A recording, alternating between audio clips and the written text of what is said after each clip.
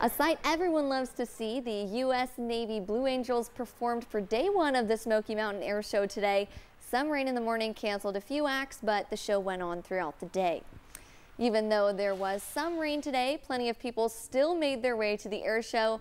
Organizers want you to keep a few things in mind if you plan on attending the air show tomorrow. And reporter Fernando Garcia Franceschini has the tips. With more rain chances throughout the weekend, organizers for the Smoky Mountain Air Show say people who want to come out here to enjoy the show should plan ahead and try to be here as early as possible. That's what Katie Hammock and her family did. We were here at uh, 6:45 to park.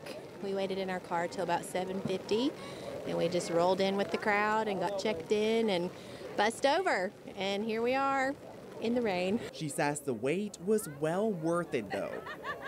Organizers want you to remember that parking gates open at 7 a.m. and the gates to the actual event open at 8. But organizers say the rain, construction along Alcoa Highway, and the thousands of people coming in could cause traffic delays. In Knoxville, I'm Fernando Garcia Franceschini.